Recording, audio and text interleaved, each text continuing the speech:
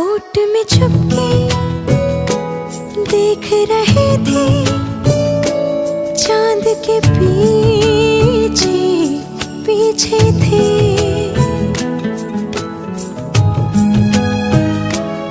ओट में छुपके देख रहे थे चाँद के पीछे पीछे थे।